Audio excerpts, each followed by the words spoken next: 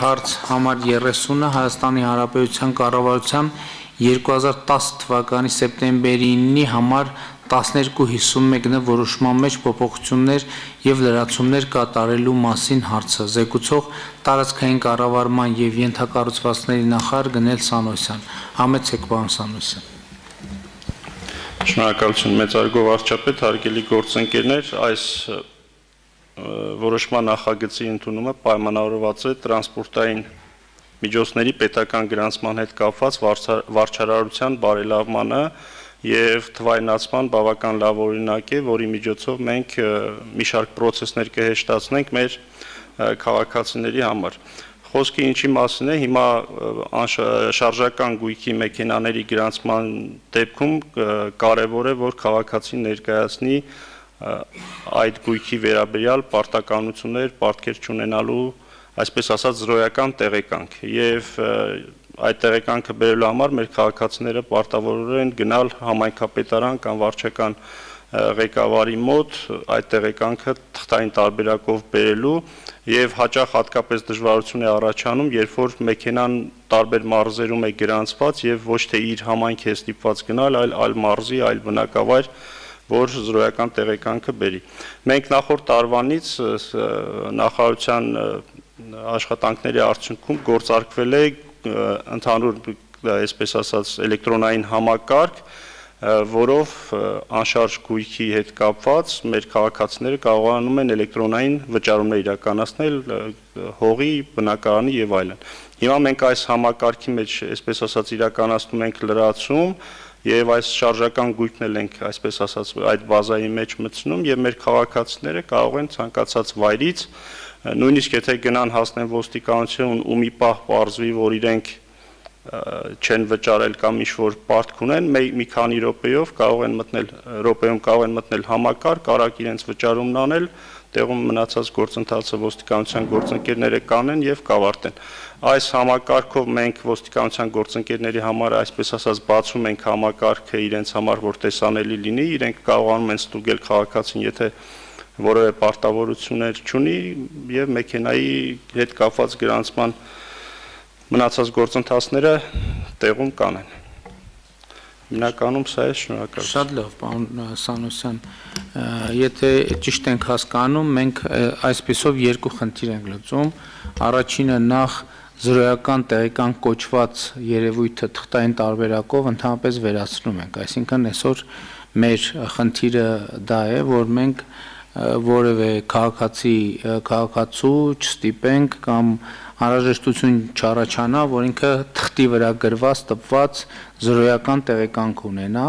եւ երկրորդն էլ եթե նույնիսկ զրոյական վիճակ չէ գույքահարկի, գույքային հարկերի վճարման առումով, Դրա համար պարտադիր չի, որ քաղաքացին այցելի հատկապես տեղական ինքնակառավարման մարմին եւ օրինակ ոստիկանական ոստիկանության ճանապարհային ոստիկանության կամ որևէ այլ մարմնում գործառույթ իրականացնելիս կարող է այնտեղից վճարումը անել եւ մյուս կողմից էլ մեր պետական մարմինները արդեն on-line եղանակով կարողանան ստուգել տվյալ քաղաքացու հետ կապված պարտավորություններ կան կուտակված, թե չկան կուտակված։ Հիմա սա գաղափարն է, բայց ըստ էության մենք ստեղծել ենք ստեղծել ենք արդյոք համակարգ, որ փողգործելիություն լիարժեք տեղի ունենա, այսինքն չլիներ դեպքեր, երբ որ քաղաքացին այնուամենայնիվ ստիպված է լինելու գնալ եւ թղթային ճանապարհով այդ հարցը լուծել։ Կարծում եմ նման խնդիր չի առաջանա, հաշվի առնելով համակարգը 1 տարուց ավել գործում է, e-community կոչվող համակարգն է, որտեղ մենք կարողանում ենք հեշտությամբ մեր հողի կամ այլ գույքային վճարներ իրականացնել եւ այս այսինքն համակարգը արդեն փորձարկված է եւ որևէ նման խնդիր կարծում ենք չի չի առաջանա եւ հեշտությամբ սմարթֆոնի կամ որևէ տերմինալից քաղաքացին կարող է իր վճարումները իրականացնել այս համակարգը մենք այս բարեփոխումը թվայնացման այս գործընթացը սրանով չի ավարտի, մենք ուզում ենք սա տարածել նաև շարժական անշարժ գույքի վրա ներողություն, սա շարժականն է վերաբերում։ Հիմա մեր քաղաքացիները, երբ որ առու վաճառք են իրականացնում, նոտար կամ կադաստր տանում են մի շարք փաստաթղթեր, այդ համակարգն էլ ենք ուզում թվայնացնել, ուղղակի այս պարագայում բավական հեշտ էր եւ մեկ քայլից գործողություններ ոստիկանության համար մենք բացում ենք այդ համակարգը իրենք կարող են տեսնել մյուս դեպքում օրենքի այսպես կարգավորումների կարիք կա մի քիչ երկար կտևի բայց ուզում եմ ասել անշարժի դեպքում էլ ենք գնում այս գործընթացին որը ժամանակ հետո կկարգավորենք նայել շատ լավ թվայնացման ամենակարևոր գործառույթներից մեկը հենց դա է որ մենք այդպիսով խնայում ենք, պիտի փորձենք խնայել քաղաքացիների եւ ժամանակը եւ նյարդերը, որ เป զի ինքը մի գործառույթ անելու համար ստիպված չլինի ամենատարբեր պետական եւ ոչ պետական մարմիններում շրջել, ժամանակ կորցնել, հերթեր կանգնել, այլ վիրտուալ տիրույթում իրեն հուզող հարցերի պատասխանները ստանալ եւ անհրաժեշտ գործառույթները իրականացնել եւ ես հույս ունեմ որ մենք թվայնացման գործընթացը ի վերջո շատ կակտիվացնենք եւ կարագացնենք այդ նպատակով եւ մենք նաեւ որոշակի